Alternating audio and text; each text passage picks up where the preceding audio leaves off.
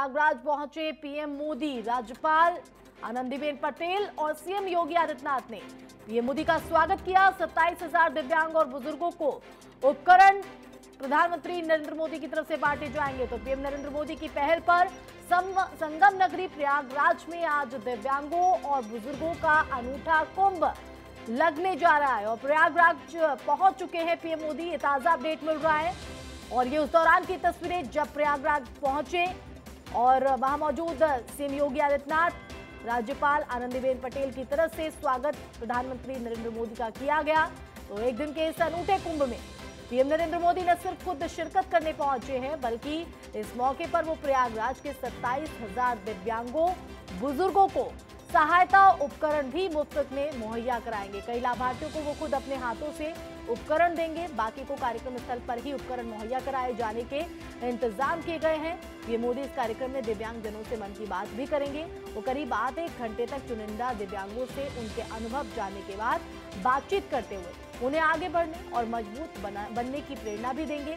एक दिन के इस अनूठे कुंभ में एक साथ इतने लोगों का सहायता उपकरण बांटे जाने का वर्ल्ड रिकॉर्ड भी बनेगा। तो वर्ल्ड रिकॉर्ड की परख कर उसका सर्टिफिकेट देने के लिए Guinness book of world record की टीम पहले ही प्रयागराज जा चुकी है।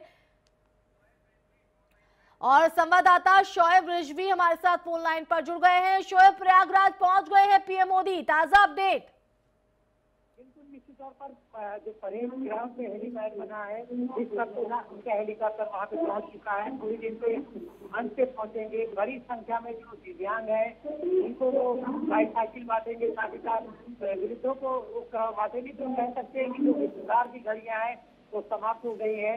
प्रधानमंत्री परेड ग्राउंड पहुँच चुके थोड़ी देर बाद वो मंच पर आएँगे। हालाँकि इस बीच पे वो दिव्यांगों से मुलाकात भी करेंगे, मन की बात भी करेंगे। एक बहुत बड़ा आयोजन प्रयागराज में हो रहा है, कह सकते हैं कि उत्सव की तरह एक आयोजन हो रहा है। और आज जो कार्यक्रम होंगे, उसमें से कई ऐसे कार्यक्रम है जो अपने आप में अनूठा और अनूठा है। पहली बार इतनी बड़ी संख्या में आयोजन हो रहा है। बिल्कुल, दिव्यांगों और बुज़ुर्गों का अनूठा जो है वो प्रयागराज में आज लग रहा है और इसी में शिरकत करने के लिए पीएम मोदी वहाँ पर पहुँच भी गए हैं। शोएब कार्यक्रम शुरू होने में कितनी आ, कितना और इंतज़ार यहाँ पर करना पड़ेगा?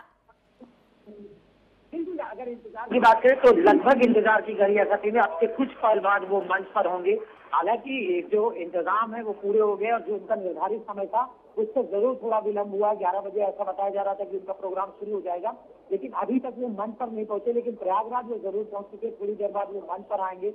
इस बीच में एक बहुत विशाल पंडाल बनाया गया है। अलग अलग ब्लॉक बनाए गए हैं और उसमें दिव्यांग इस वक्त मौजूद है।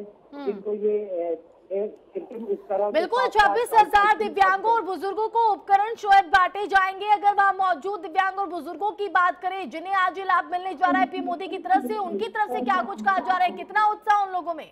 बिल्कुल उनके लिए एक बड़ा मौका है क्योंकि उनकी ज़िंदगी में एक नई रोशनी उपकरणों के ज़रिए आएगी। शोएब शुक्रिया जुड़ने के लिए।